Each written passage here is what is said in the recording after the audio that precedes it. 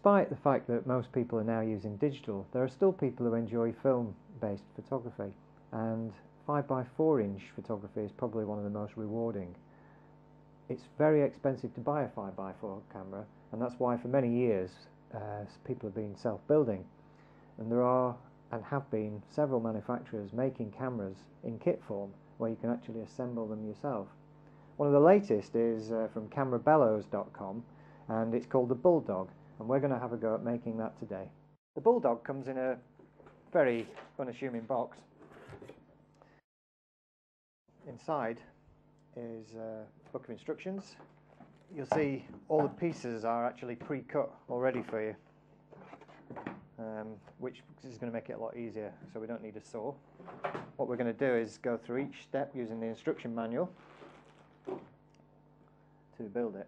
Uh, there's a list of things that you need. You will also need some PVA wood glue, some epoxy adhesive, some contact adhesive, uh, some sandpaper, they call it glass paper in abrasive cloth here, but I've just used some very fine uh, sandpaper, a 2mm drill and a 4mm drill.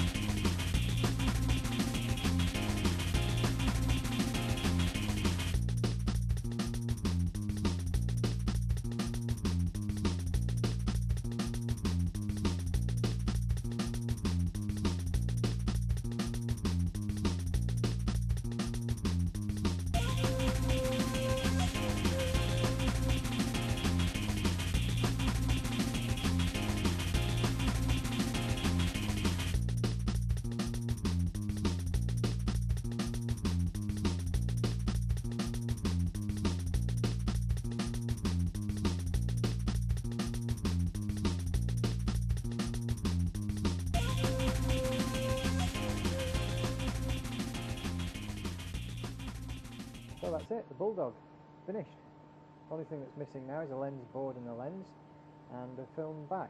Uh, it's the universal type, so any cut film holder will fit. Um, there it is, I'm going to go off and uh, find the lens and then give it a go.